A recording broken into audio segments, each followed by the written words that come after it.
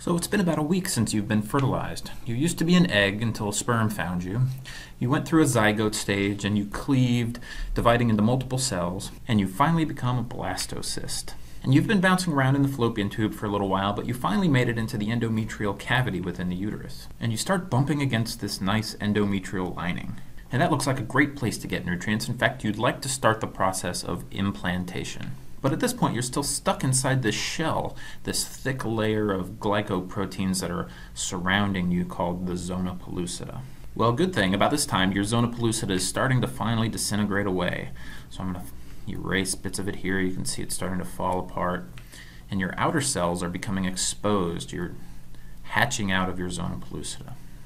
But the endometrium isn't sitting still either. In fact, it's anticipating your arrival. And the endometrial lining is proliferating.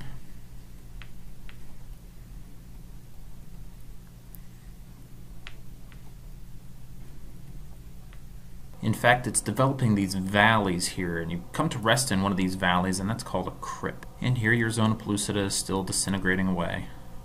And your outer layers of cells can come directly in contact. And this contact between the two cell layers is called apposition. Now at this point, you're not really firmly embedded at the endometrium, you're just kind of resting on top of it. You could be easily dislodged. What you'd like to do is get really stuck in there so that you can start the process of nutrient transfer. And this outer cell layer that we've mentioned before, these are called trophoblasts, they start to multiply.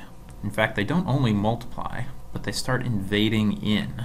You can see them here invading into the endometrial tissue. Now this gets you good and stuck, and this is called adhesion. But the uterine endometrial cells aren't sitting still either. They continue to divide, they get larger and larger, and pretty soon you're entirely embedded within the endometrium. But that's not the only thing that your endometrium is doing. Your endometrium has these blood vessels within it. And really what they are is actually just collections of blood that's slowly moving around.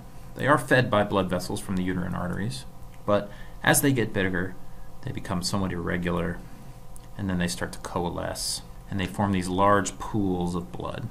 And at the same time, your trophoblasts keep dividing. But something interesting is happening to your trophoblasts. You can see I'm drawing them here in pink. They're starting to get bigger. They're actually starting to fuse. And you get these large cell conglomerations. And these are actually multinucleated cells that are growing out into the endometrium. And because they look so different, we've got to give them a different name. So we call them syncytio trophoblasts. Now I know that's a mouthful, but remember we started with trophoblasts. So we've got that as part of the name, and syncytio is just a root that means combined or fused. And a syncytium is just a fusion of a bunch of cells. And so here you can have a syncytium of trophoblasts, and so we call it a syncytio trophoblast. But that leaves us with the problem of what we call our original cells, and we've got to give them a new name too. So these ones that haven't formed a syncytium we call cytotrophoblasts. And same thing, they come from trophoblasts, and we add the prefix cyto just to remind us that they've maintained their unicellularity. Now our syncytio trophoblasts continue to grow, and they continue to grow, and they form these finger-like projections that go out into the endometrium. And these finger-like projections are called villi. But the uterine blood vessels, which are now really just pools of blood, continue to grow and fuse as well. So over time, these structures continue to grow. You get more cytotrophoblasts that line the edges of these villi as they creep out into the endometrium. And within these villi, you start to develop little fetal blood vessels. And as you can see, the fetal blood vessels are in really close contact to the uterine blood vessels.